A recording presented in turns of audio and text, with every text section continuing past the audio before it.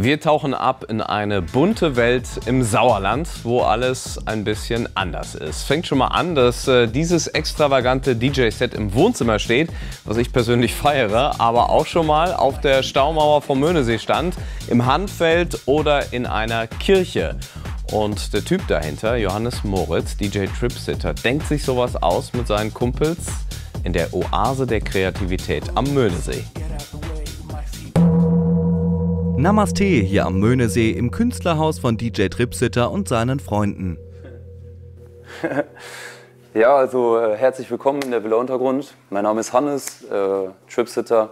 Bin Künstler, Artist und äh, heute seid ihr hier bei uns quasi zu Hause. Ähm, neben mir mein Kumpel Mighty, McFluff, äh, auf der Couch. Ihr seht, äh, wir sind ein kunterbuntes äh, Häuschen, irgendwie alles ist bunt, alles hat eine andere Farbe. Und äh, ja, das ist einfach dafür da, damit wir hier möglichst viel äh, ja, Kreativität im Gesamten erschaffen können. Ähm, mit unserer Crew, mit unserer Community hier halt gemeinschaftlich arbeiten. Und äh, genau, haben uns halt vor knapp sechs Jahren dazu entschieden, nicht länger Miete zu zahlen. Haben gesagt, okay, äh, was können wir machen, welche Optionen haben wir? Und anstatt, dass wir halt Miete zahlen, haben wir uns halt ein altes, runtergekommenes äh, Haus gekauft. Also jeder von uns hat äh, ein kleines Businessmodell. Bei mir ist es zum Beispiel äh, hier die Produktion von USB-Sticks für DJs. Was ich mache, hier ist gerade einer fertig geworden, unter anderem kann man hier mal reinschauen. So sieht das dann halt aus. Und dann kommt man hier in unser Hauptstudio rein. Ihr seht es, das ist unser Kreativstudio und ähm, genau, schaut euch erstmal um, kriegt mal so einen kleinen Eindruck. Einer von uns ist Webdesigner, ich komme aus einer Tischlerfamilie, mein Kollege war Elektriker, hat eine Ausbildung vorher gemacht. Also jeder hat so verschiedene Skills und gerade dieser bunte Mix äh, erlaubt uns halt alles hier vor Ort zu produzieren, so in einem geschlossenen, ich sag mal in einer geschlossenen Seifenblase quasi. Und aus dieser Seifenblase heraus organisieren Tripsitter und seine Freunde kreative Partys an wirklich ungewöhnlichen Orten und setzen damit Maßstäbe abseits vom Mainstream. Es geht einfach darum, einzigartige Momente zu erschaffen. So, das ist das, was unser Ziel ist hinter den Veranstaltungen. Und ich finde, in einem normalen Club kommt das vielleicht nicht so zur Geltung wie in diesen außergewöhnlichen Orten, die wir uns immer raussuchen. Und ich finde einfach, dass es wieder dieses geht ins Ohr, bleibt im Kopf. Man vergisst nicht, wenn man auf der Staumauer getanzt hat. Man vergisst nicht, äh, wenn man äh, in einer Kirche gefeiert hat.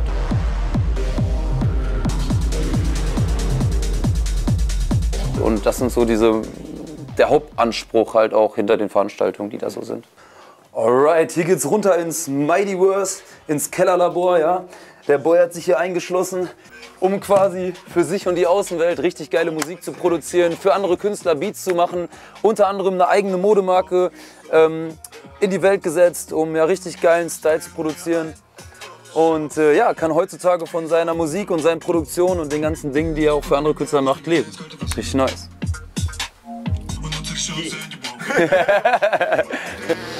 alles voller Colors, alles voll geballert, mit den Nikes renn ich wie ein Bockballer.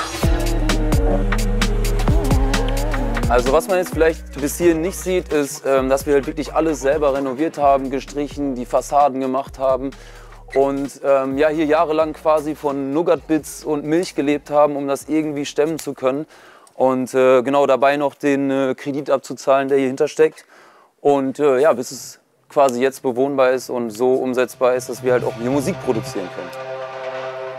Und das tun sie bereits jetzt mit Erfolg, haben ihr eigenes Label gegründet und stehen bei Booking-Agenturen unter Vertrag.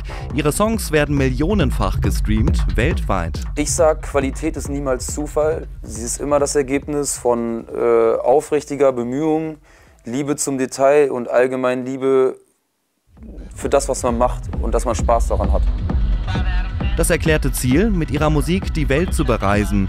Doch ihre Ideen, ihr Herz, ihre Base, wie sie es selber nennen, die wird auch weiter in diesen vier Wänden hier am Möhnesee liegen.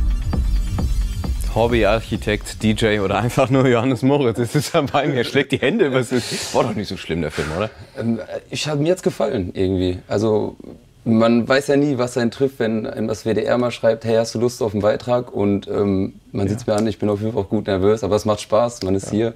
Ich freue mich. Das ist doch gut. Äh, was erzählt er eigentlich einem Nachbarn, wenn er mit dem Hund bei euch am Haus vorbeikommt und mal fragt, was macht ihr da, wer seid ihr? Also es gab äh, viele verschiedene Sachen. Angeblich waren wir Hartz-IV-Empfänger, die ein Haus besetzt haben. Wir waren aber auch, äh, haben in der Pornoindustrie angeblich gearbeitet. Also die Gerüchteküche ist groß, was wir wirklich machen. Am Ende äh, sind wir Webdesigner, Leute, ähm, die sich selbstständig äh, machen mit unterschiedlichsten ähm, ja, kleinen Projekten und äh, bauen uns so irgendwie unser Leben auf. Und, und das wird jetzt auch so abgenommen und akzeptiert? Nein. Nein. Nein. Aber die haben akzeptiert, dass wir da nicht wegziehen und äh, das zwischendurch mal lauter wird. Und eigentlich muss ich auch sagen, der größte Teil unserer Nachbarn sind wirklich sehr nette Menschen. Und ihr macht ja auch was äh, dafür. Wie findet man denn so Gleichgesinnte, um sowas zu machen? Also äh, einer meiner heutigen besten Freunde, mit denen ich zusammen wohne, wir haben einen Abend zusammen verbracht. Er hat gesagt, äh, ich kann mir ein normales Leben so nicht vorstellen. Zu, der Zeit, zu dem Zeitpunkt war ich Hochzeits-DJ, habe damit mein Geld verdient. Äh, ich habe gesagt, ich auch nicht. Dann hat er einen Kollegen angerufen, wir sind in Cabrio äh, eingestiegen, so ein altes, klappriges Ding. Ähm, zu einem Kollegen gefahren, mit dem Kollegen Janni und äh, Nikola an dieser Stelle. Liebe geht raus, Jungs, ich liebe euch. Ähm, ja, haben wir beschlossen, okay, wir ziehen jetzt zusammen. Wir sind bei meinem Kollegen in die Wohnung gezogen, ins Dachgeschoss auf 10 Quadratmeter. Ähm, ich bin ausgezogen und los geht's. Äh, aber mal ganz ehrlich, man braucht ja auch Disziplin, äh, um so ein Hausumbau, Sanierung durchzuziehen. Ihr seid alles Kreative. Wo, wo nehmt ihr die Disziplin daher? Es ist, glaube ich, die, also Disziplin ist so eine Sache ich glaube, Motivation ist eher der Punkt, den man ansprechen muss.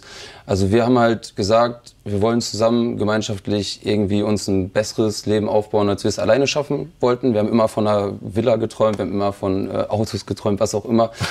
ähm, jetzt nach sechs Jahren ist es halt eher der Benefit, dass wir es uns schaffen, auch in negativen Situationen ja. immer gegenseitig zu motivieren. Mhm dich würde mal als Typen vielleicht eher nach Berlin oder London stecken. Jetzt bist du der Exot in Südwestfalen. Magst du diese Rolle?